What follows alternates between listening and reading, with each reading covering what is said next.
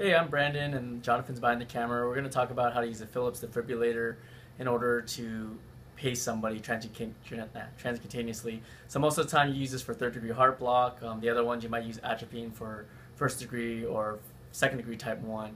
But um, kind of important parts about pacing somebody is that you need to make sure that you have both the defibrillator pads on somebody and the, um, the wires, the EKG wires, because the defibrillator can't pace and sense at the same time. So you have to have one that senses and one that paces. So just make sure you have either your three lead or five lead, whatever you have um, next to you, and then the pacer, the pads on onside the patient.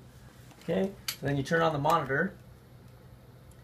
And an important part to do is um, look at the monitor. You'll see the patient's heart rate. You see third degree heart block right there. That's like around like 30 beats per second.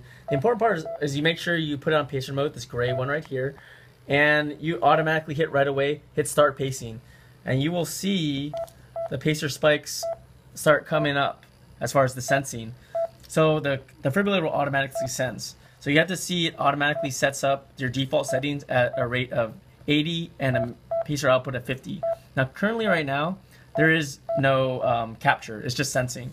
So if, if the doctor wants 80, then you just change the pacer output. You can go with this relatively quickly. The key point is once you start seeing capture, you go 10 milliamps above it. So let's just kind of do it. So 50, 60, not working, 70, not working, 80. Oh, there you go. You got some capture. Make sure you get 100% capture. Then you go 10, 10 milliamps above that, and then you're done. So just make sure to always hit start pacing, and that's that's it. That's how you pace the patient.